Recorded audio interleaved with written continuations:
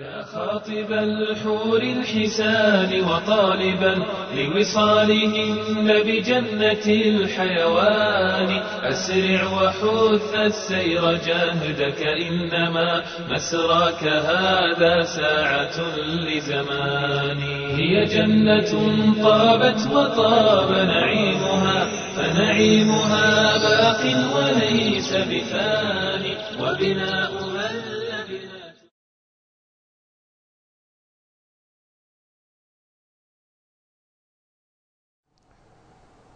بسم الله الرحمن الرحيم الحمد لله وصلى الله وسلم على نبينا محمد وعلى آله وصحبه وسلم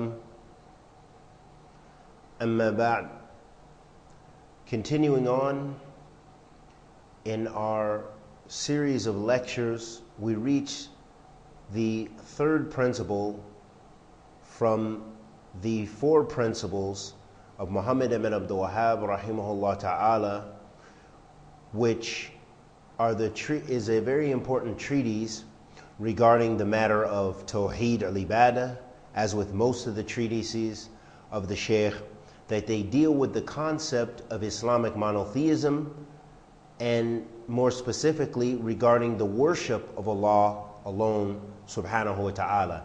And we came to the point where we reached the third principle, with the first principle being that the original pagans they used to believe in rububiyah.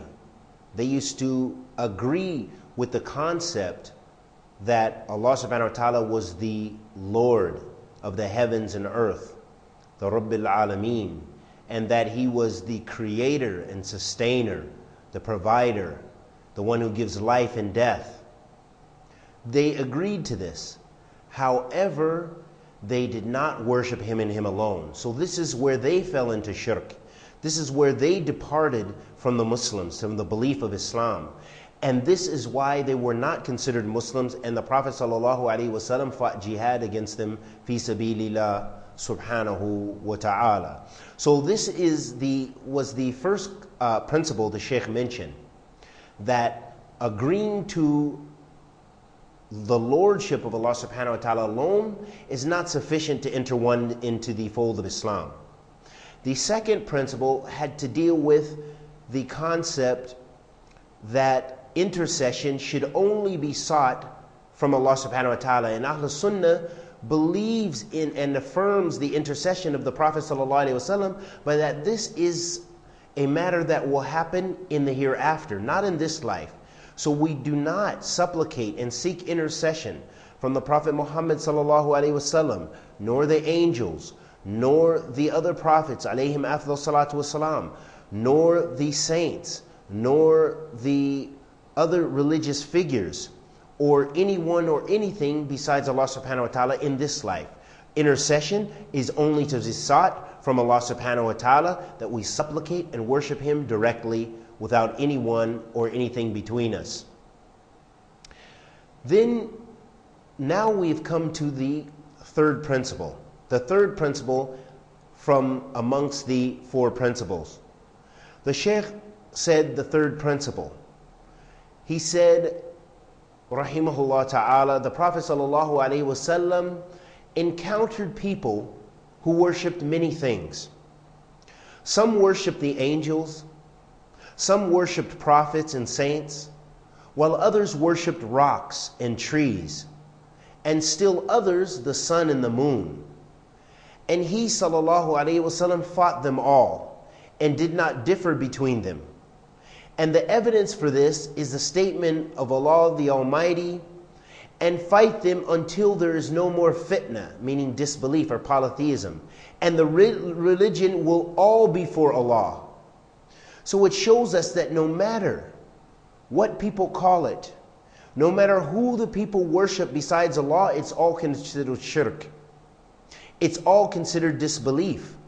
Whether you worship someone righteous and holy or you worship someone wicked and filthy, it is all considered disbelief. Because worship only belongs to Allah. The deen kulluhu lillah. The religion is all for Allah. And this is what the Prophet ﷺ illustrated for us this perfect concept of monotheism. The evidence, the Sheikh went on to say, the evidence that the sun and the moon were worshipped is the saying of Allah the Almighty, and from His signs is the day and the night, the sun and the moon. Do not prostrate to the sun or the moon, prostrate to Allah who created them if it is Him you really worship.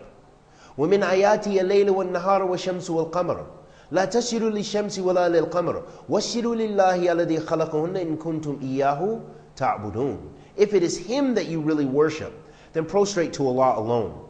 There's no cause, there's no evidence, there is no authenticity, authenticity or authentication for worshiping other than Allah subhanahu wa ta'ala. Regard, all of these are from his signs. They're from his verses, from his his uh, his ayat koniya. You know, the verses that are in his creation that are uh, things for us to ponder and reflect upon. From the sun, the moon, the night and the day, the sun and the stars. All of these are beautiful and vast creation of Allah subhanahu wa ta'ala, the sea. However, they are not to be worshipped. They are not to be taken as lords besides Allah subhanahu wa ta'ala. Nor do we prostrate before them, but we prostrate to Allah who created them. And that is if it is Him you really worship. And the evidence that they worship the angels is Allah subhanahu wa ta'ala's statements, uh, statement. You are not commanded to take the angels and the prophets as lords. And the evidence that they worshipped prophets is a statement of Allah the Almighty and when Allah will say, O Jesus, son of Maryam, do you say to the people, Take me and my mother as gods besides Allah? He will say, Glory be to you. It is not for me to say which I had no right to utter. Had I said such a thing, you would surely have known it. You know what is in my inner self, and I do not know what is in yours. Truly, you are the all knower of all that is hidden. The evidence that they worship the saints is a statement of Allah the Almighty.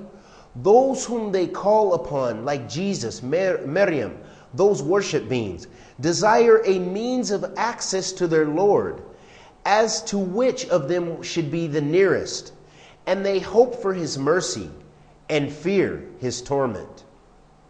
And the evidence that they worship rocks and trees is the statement of Allah the Almighty have you considered Al-Lat wal Uzza and Manat the third? And also the hadith of Abi Waqid al-Laythi radiyallahu ta'ala anhu who said, We left Hunain with the Messenger of Allah sallallahu alayhi wasallam and we were new to Islam. The pagans had a tree they used to devote themselves to and hang their weapons upon called Dhat al-Anwat. So we passed by a tree and said, O Messenger of Allah, make us that al uh, like they have that what? Sheikh Ahmed al-Najmi, rahimahullah ta'ala, states, this principle illustrates that everything which is supplicated to other than Allah, regardless of whether it is the angels, prophets, pious saints, or trees, rocks, or anything else that is worship, they are all incapable of assisting those who worship them with what they request or grant them an alternative. And Allah the Almighty has already mentioned that anyone who is supplicated to besides Him does not possess anything, nor even a little. When He subhanahu wa ta'ala said, And those whom you invoke or call upon instead of, of Him, own not even the thin membrane over a date seed. If you invoke them, they hear you not. And if they could hear you, they could not grant your request. And on the day of resurrection, they will disown your worshiping them. And none can inform you like him, who is well acquainted with everything. And the most magnificent said, O you who believe, here is an example, so take heed of it. Verily, those who you invoke other than Allah cannot even create a fly, even if they gathered together to do so. There are many other verses which illustrate that those who invoke besides Allah subhanahu wa ta'ala are unable to fulfill the request of those who worship them due to their frailty and weakness, and they are also incapable of preventing harm or benefiting themselves. So, how about other than them? How is it that they can benefit you and I when supplicated to if they could not even benefit themselves? Those who are worshipped besides Allah, no matter what their status is, they are unable to fulfill our requests. And it constitutes polytheism by worshiping or supplicating to them. It does not matter if a person supplicates to an angel or to Jesus alayhi salatu or Muhammad sallallahu wasallam or a statue, an idol, a rock, or a dead saint. It all constitutes shirk and violates Islamic monotheism. The fourth principle, so the Sheikh moved on to the last and final principle. He said the fourth principle, rahimahullah ta'ala. He said, the pagans of our time are more polytheistic than the pagans of the Prophet Wasallam's time due to the fact that the early pagans used to commit polytheistic worship during times of ease, but were sincere to Allah during times of difficulty. However, the pagans of our time commit polytheism during times of ease and hardship. The evidence for this is the statement of the Almighty, and when they embark upon a ship, they invoke Allah making their faith pure for Him alone. But when He brings them to land safely, behold, they give a share of their worship to others. This principle illustrates the fact that both the pagans of this time and early pagans are considered disbelievers. Although the early pagans during times of great hardship worshiped, they worshiped Allah subhanahu wa ta'ala and recognized His Lordship. Therefore, all those who disbelieve in Allah, His Messenger sallallahu alaihi wasallam, and the religion will abide eternally in the hellfire. However, some will receive a punishment more severe than others in accordance with the level of their shirk and sinfulness. The pagans in the Arab Peninsula, during the time of the writing of this treatise by Muhammad ibn Abdul Wahhab, believed in the Prophet and the day of judgment, the angels, and they uttered the testimony of faith. However, they violated Tawheed al Ibadah because they sought blessings from trees, stones, and dead saints, and these were their habitual practices. On the other hand, the early pagans rejected the Prophet ﷺ and the day of judgment but they did not worship Allah by supplicating, uh, I'm sorry, but they did worship Allah by supplicating to Him during difficult times. So sometimes they worshiped Allah and sometimes they didn't worship Allah. Sometimes they had a degree of sincerity and other times they totally violated that by worshiping other than Allah, using them as intercessors. The shirk of the latter day pagans was worse than the early pagan Arabs. However, their disbelief varied, and it was all considered disbelief. The four principles that Sheikh Muhammad ibn Abdul Wahhab rahimahullah ta'ala mentioned were standards in which to distinguish polytheism from monotheism and pagans from monotheists so that there would be no confusion or deception regarding the various practices and acts of worship they do. Because some polytheists pray and claim love for the Prophet wasallam. They perform the pilgrimage to Mecca and fast. However, they associate partners with Allah and seek intercessions from other than Him. And many of them they worship various deities seeking to draw nearer to Allah, which does not benefit them. Finally, another matter pertaining to these principles is the issue of takfir. meaning to declare a Muslim to be an apostate. This is imperative that we have some basic understanding about this. Takfir is a very serious issue that is left to the scholars and Islamic judges to determine and apply a judgment upon an individual. As the scholars uh, illustrate for us, that takfir is of two types takfir al mutlaq wa takfir al mu'ayyan. Takfir al mutlaq means the general takfir. Takfir al mu'ayyan is the specific takfir, meaning that you're making the judgment about a particular individual. Takfir al mutlaq, the general judgment, is for example, if you say the Jews and Christians are disbelievers. That means you have made takfir of Jews and Christians. In the general sense, that means anyone who fits that description of being considered a Jew or a Christian is not a Muslim. They are outside the fold of Islam. That is takfir mutlaq. Takfir al-mu'ayyan is when we try to apply that specific ruling of takfir to a specific individual. For example, to say so and so is a disbeliever and their origin is that they're a Muslim. Okay, someone who has entered the fold of Islam, we know them to be a Muslim or to be from the Ummah, even if they be from various groups and sects, but they're still regarded as a Muslim. They may be from Ahl Bidah, they may be from Ahl Sunnah. However, when, you, when it comes to making a judgment upon that specific individual, that is a judgment for the scholars because there are conditions for this, as we will begin to uh, give a very brief overview. The important principle for us here, and related to this treatise, as well as other treaties of Muhammad ibn Abdul Wahhab, like Nawaqid al Islam, the, the uh, violators or the inviolators of faith, those things which violate a person's faith, is that although a person may err, they may make a mistake, and do an action or say a statement that nullifies his or her faith, it does not necessarily mean they are a disbeliever because there are conditions and things which prohibit from making the ruling of takfir upon a specific individual.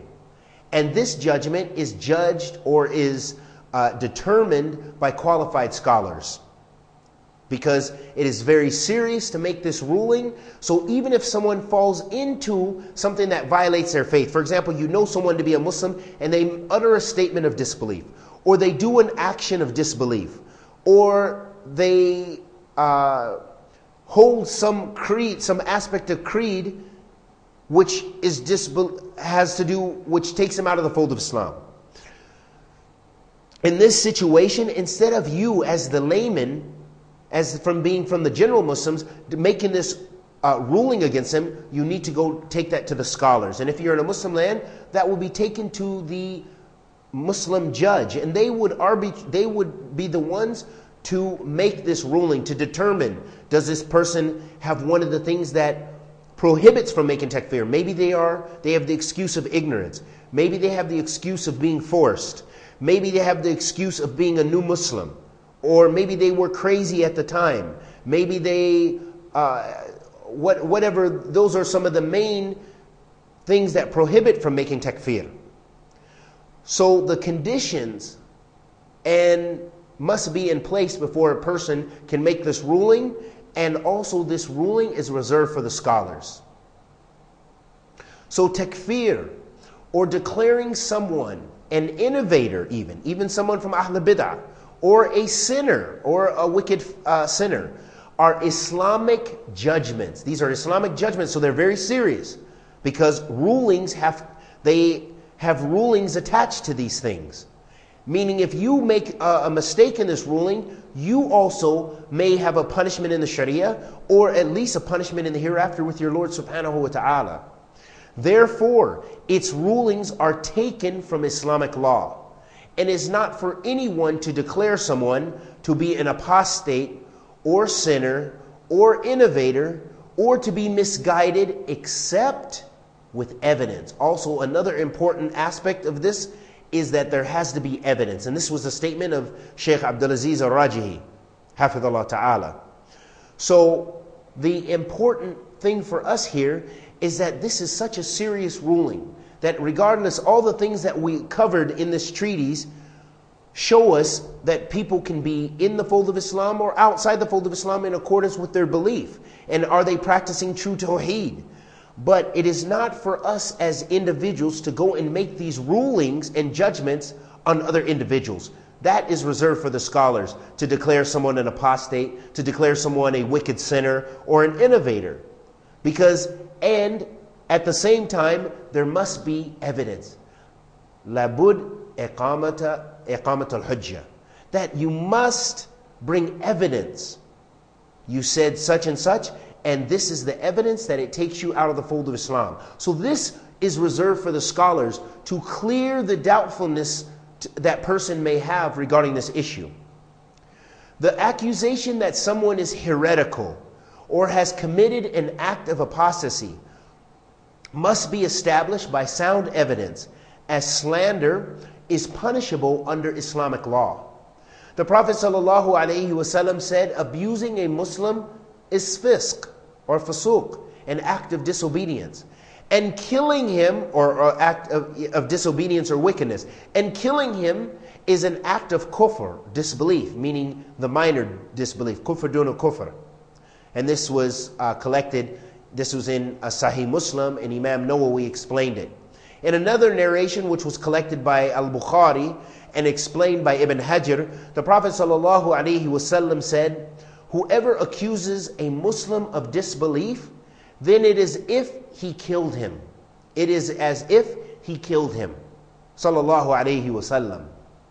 These narrations exemplify the seriousness of making takfir, and that the one that does so carries an enormous responsibility and should be a scholar of the religion. Because declaring a Muslim to be a disbeliever by mistake is a major sin, and both classical and contemporary scholars agree to this.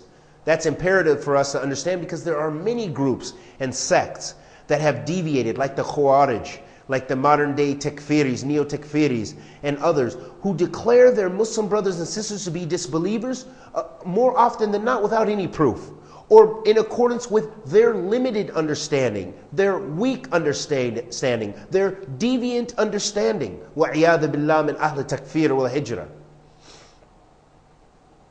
Sheikh Ab, uh, uh, Abdul Nasir al-Barak, Hafidullah Ta'ala states, It is upon the Muslim to fear polytheism and ask his Lord to protect him from it in all of its various forms. Because polytheism overcame many of the creation from the early generations to those who will come last. We ask Allah to protect us from any and all forms of polytheism and from grave and saint worship to that of the Rafida, Shia. And may Allah guide the Muslims everywhere and protect them, preserve them, and preserve their aqidah, and bless us to be from Ahl Sunnati wal Jama'ah. وصلى الله وسلم على نبينا محمد وعلى آله وصحبه وسلم يا خاطب الحور الحسان وطالبا لوصالهن بجنة الحيوان. أسرع وحث السير جاهدك إنما مسراك هذا ساعة لزمان.